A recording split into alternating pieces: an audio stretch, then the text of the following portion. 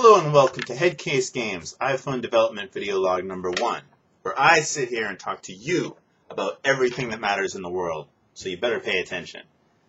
My name is Ron Alpert. I'm an iPhone app developer. I work for Headcase Games. That's my name on the card. We make games for your iPhone. How about that? I have been uh, blogging in the community for probably about a year and a half. I've been using a Blogspot account, like so many other people, charting the course of the production of the games that we've made. And I decided that it was time to step things up and try my hand at a little bit of a video blog, or a video log, or a vlog, or whatever the kids call it these days. So now, here we go. First of all, I'd like to tell you a little bit about myself and where I came from. I have been a game developer for going on 13 years now in the larger studios. I worked for Activision, Sega, Sierra, Vivendi, a lot of other companies that used to exist that may not anymore that are all merged into what is essentially going to become the one big company sooner or later in about six months. My name is in the credits on games such as Tony Hawk, Tony Hawk, Sexy Moon, oh, have that either, MTX Mototrax, Metal Arms, some other games that I've worked on include Pharaoh, Caesar 3 way back in the day, Lords of Magic, and most recently Alpha Protocol, released by Obsidian and Sega. Uh, when I was working at Obsidian, I met a programmer there, and we decided to go off and do our own thing, and that is what you see before you now. All of this. So then, what have we released? We put out two games during the course of our existence. We released a game called iFist, which came out exactly a year and a month ago, and uh, that is available for now now for download on your iPhone. Type in iFist on the App Store, and what that game is is it's basically the old the old game Simon. Um, you have the sequence that the uh, game plays, and then you have to repeat it back, mixed with rock paper scissors. So basically, you see the computer throw rock, rock, paper, and then after it finishes a sequence, you have to do the opposite of that. So it does rock, rock, paper, you would do paper, paper, scissors. And then it would keep on adding to that. It's a little game. It's very simple. But again, it's something small that a programmer and I, just the two of us, could put out in a short amount of time. We'd only worked in big studios with, you know, 30, 50, 100 other people working on a huge project. We wanted to tackle something small just to make sure we got the entire process down. And it went well. And we released that game and we decided to do another one. Our second game that we released was this guy. That's 180. And that is a puzzle game. It is in the vein of Bejeweled meets Tetris meets a little bit of Bubble Bobble, or Bust a Move rather, which I'm sure all of you are familiar with. Anyone that's actually watching this has probably played at least two or three of those games. At least. Our game is different because we've decided to take, we looked at the games that had been done before and what it was being done on the iPhone, but we wanted to do something that would take specific advantage of the touch interface and without making this sound like a lot of the usual boilerplate, there's a lot you can do with a touch interface that a lot of people aren't even thinking about, and that's why iPhone app development is so interesting. But I will get into that later. Now, I'm going to turn off my speakers because they're buzzing.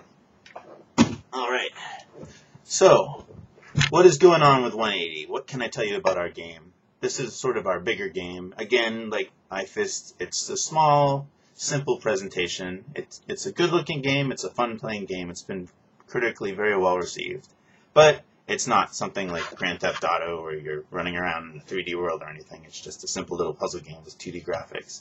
It is designed to appeal to the casual player and the hardcore player, and I think we did a very good job of doing that. We've got several thousand downloads in the couple of months that it's been released. We've got I think about 25,000 downloads at this time, and hopefully we can get a good amount more in the coming future. We have about 10,000 people playing on OpenFeint leaderboards. If that doesn't mean anything to you, that's the online leaderboards that tracks everybody's score in the world and compares it to everybody else and charts all their achievements and things. So that's good. I'm sitting up near the top. I used to be the number one player in the game, which I guess goes without saying when you're the guy that made the game. But I am not the best puzzle game player, and I got knocked off pretty quickly, so I'll, I'll fight my way back up. Anyway, so that's all I have to say for now about 180. There's a hell of a lot more to say to it, but I'm going to try to keep this podcast a little bit short and sweet. I'd like to say a few other things before I sign off, though. What else am I playing on the iPhone? Uh, right now, I was alerted that there is a sale on a game called Puzzle Cosmos by the company Ponos, and it was a dollar down from three or four. Uh, so I grabbed it right away, and I have to say it is a nice game. I recommend it absolutely for a dollar, even for three or four. I know that the value of things is all kind of all over the place right now, but for what it's worth, if you like a game like Lumines, the style of the play and the feel of it, and the way that the way that those types of puzzle games work, you'll definitely like this. It's certainly in that in that neighborhood, and you can tell it's very inspired by that. Uh, I like I like what I guess it's Q Entertainment has done to redefine the puzzle genre with their kind of techno sort of ravey looking styles of puzzle games. I don't think it appeals to everybody, but I think it definitely works for what they've been trying to do in their games and also with this Ponos game. So I would expect, based on their history, that they will probably be putting out some sort of a free or light version of it in the coming months. You know, don't hold me to it. I have no idea. Is it worth the dollar? Like I said, you be the judge. Look at some videos, but it's it's a fun game. I, I recommend it. What else I've been playing? Um, not very much lately. I'm actually really busy between doing this kind of stuff and actually making the games and talking to people. But you know, I get in a little bit of play here and there. Um, my favorite game on the iPhone, other than other than the one that I made, is a game called Drop Seven. Now this game, it's been making the rounds for a couple of years now in some form or other. I'm not exactly sure the history of it. I think it started life as a flash game.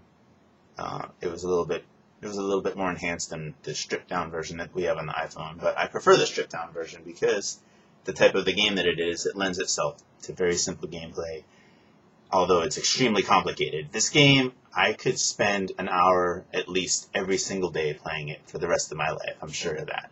I probably have spent at least an hour every day since I've got into it about eight or nine months ago at this point, and it's just very addictive. It's a game that you look at it, the graphics are very simple. There is no flash to it. There is nothing exciting or interesting about it at all. In fact, a bunch of my friends got into Drop 7 a good year and change before I had even looked at it or before I'd heard of it. They, you know, of course I paid attention and I was like, what's everyone all into? And I looked at it and it looked like, it looked like nothing. And I was like, I don't care. Why should I care about this? My girlfriend picked it up. She sat down on the couch for probably about 18 hours straight and just played it and played it and played it. And she's not really a gamer, so that says something to me. Anyway, I ignored it. I checked it out about six months later. I looked at the demo just for the heck of it and um, I said, okay, I played it for about a minute, and I got it, and I said, all right, this game is good, and then I downloaded it, and it's I've not been the same since. If you have any question in your mind whether or not this game is worth the money, just ignore that question and just go and buy it. If you are a fan of puzzle games, or if you're a fan of anything logical or thinking, or that requires creativity and problem solving, but isn't overly complicated and doesn't require a lot to get into, this game is for you. Um, it is. It will kind of ask a little bit of you that you are patient. It's not a game where it's going to just instantly be gratifying. You're probably going to have to mess with it for a few days before your brain starts kind of getting around how these types of games work. Not that there's a lot that you can do with it, but just there's a lot of conceptually going on. I guess that's kind of a hard thing to describe here in a video log. I'll just leave it up to you. Look at the ratings. You'll see what I'm talking about. Otherwise, I downloaded a game called Puzzloop recently. Puzzloop is a very, not a very old game, but it's a good 20 years old, and it's actually the basis of one of my favorite games. Many of you out there know uh, games like Zuma and Luxor. Puzzloop was the original version of where all those came from. The original, I guess, marble popper you would call it. And uh, some Western developers actually saw this game and decided to sort of make it their own and reskin it and change up the rules a little bit and popularize it. And of course, that's why you have games like, like I said, Zuma and Luxor, and then of course Stoneloops of Jurassica, which have gone on to do very well. But Puzzloop was the first one. It looks very aged, even in its iPhone incarnation. It still doesn't feel like it can measure up to the the games that have, you know, passed by it. But it's a very fun game. It's a very simple arcade game. Um, my favorite version of it is actually the black and white version on the old Game Boy. The old, old Game Boy. And I know how that sounds, but it just, it, the mechanics of it just were so solid and so figured out. And the people that made that game were they were just were spot on with whatever that Tetris guy was smoking. They were smoking it as well. So I recommend checking out Puzzloop if you if you are down with anything else that I've said and interested in any, any of the other games that you've heard me that you've heard me talk about now or seen me write about in the past. Then I think you'll enjoy this. I think it's it's hard to say. I haven't checked out how much it costs. It's usually going between a dollar to three or four. Uh, I can say that most people probably aren't going to be willing to pay seven or eight, which is what they've traditionally been asking for. But again, check out the light version and see if it's for you. I like it. It's a fun game. It's got nice polish. Um, what else am I playing? That's it, really. I don't really have too much time otherwise. I have, a, of course, all the usual consoles, PlayStation 3, 360, and the Wii, and they're all sitting there looking at me, gathering dust. I downloaded the Scott Pilgrim uh, demo on the PSN recently, and that was okay. I think I had some high expectations for it based on the style of the gameplay and the style of the art.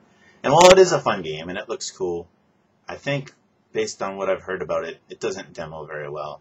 And I can second that opinion. It was just like, it's it's okay, but going back and playing an actual 16-bit side-scrolling beat 'em up and then playing that, something got lost in, in the translation. But a lot of people say that the demo doesn't really do it as much justice as if you actually buy the game. I've seen that happen before. The same thing happened with me when I first played Uncharted. I thought the demo was uninteresting. It was very pretty, but the, the design of it wasn't the, the level that they started you out in wasn't very fun. It wasn't very compelling. It was it was just it was not interesting. And for some reason, I, I happened to pick up the actual game and start it from scratch after being disenchanted by the demo. And I fell in love with it, and I played the game the whole way through. So there you go. Sometimes a demo will work against you. But yeah, as far as Scott Pilgrim goes, I'd say support the aesthetic, support the style, support the throwback. I'll probably pick up the game. Maybe you should too. Do your homework. Um, what else can I say? So, this today is Wednesday, September 1st. In a couple of days, Friday the 3rd, I will be at the Penny Arcade Expo in Seattle, and that will be interesting because that will be the first time that I will be speaking publicly about this stuff. That will be that'll be very interesting. I'm going to be on a on a panel discussion with a couple of other people. See John Krajewski of Strange Loop Games, James Silva of Dish of Ska Studios. They made the Dishwasher game and a game called I Made a Game with Zombies in it. And of course, Brian Mitsoda, who's recently announced his own game called Dead State uh, from his new production company called uh, Double Bear Productions. So that will be on uh, this Friday night, 6:30 to 7:30 in the evening at the Serpent Theater. So that we will all be discussing basically our experience in independent development. Um, we have a whole lot to say about that between where we've come from and what we intend to do, why we're doing independent, what we expect to get out of it, the pros, the cons, the pratfalls, the hoo-yas, the ha-has. So yeah, um, I will try to get a recording of that if I can. Uh, again, I'm still kind of new to that end of things. I'm used to sitting, you know, in my desk and actually being the guy creating all the assets and not worried about being out there in the community and selling all this stuff firsthand. So yeah, we'll see how that goes. All right, I guess that will wrap it up for this episode of Headcase Games Video Log. I promise I'll come up with a snappier title for this thing. Um, I put out a tweet right before I started recording asking if anyone has any questions. So let's see if we got any questions on the Twitter. Do bear with me. I don't expect to have any, but you never know. Nope, nothing. Nobody cares. All right. I think everybody's just busy, and I also just sent a tweet out about 15 minutes ago anyway. So, send me some questions next time. We will get we will get answers, the answers that you seek, answers that you crave. Download my game. Download 180 for Headcase from Headcase Games. 180 from Headcase Games. 180 from Headcase Games. From Headcase Game. Okay, you get the point. It is uh, 180 on the App Store. What is 180.com? Headcasegames.com. You can find us on Twitter, twitter.com slash headcasegames. We're on Facebook as well, all the usual places, headcasegames.com. I can say it eight or nine more times if you like, but I don't think you get the point, so I will just uh, spam everybody's inbox about me. I'm just kidding. Thank you for watching my uh, video log. I'll be back at you soon. Come out and check us out at the Serpent Theater at the Penny Arcade Expo. Goodbye.